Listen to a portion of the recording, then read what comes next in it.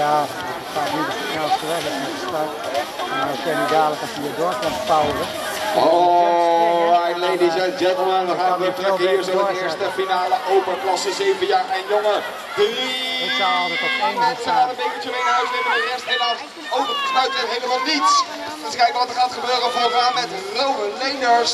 De Nederlands kampioen in de categorie 9, 8 jaar. We gaan kijken naar de man die op de tweede positie ligt.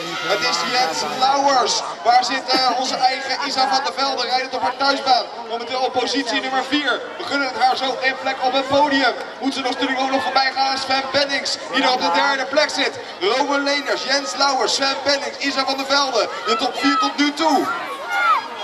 Laatste rechte stuk is in zicht. We zien Isa van der Velde pushen op het podium. We gaan kijken wat er gaat gebeuren op het laatste rechte stuk. 1, Rowan Leenders 2, Jens Lauwers 3,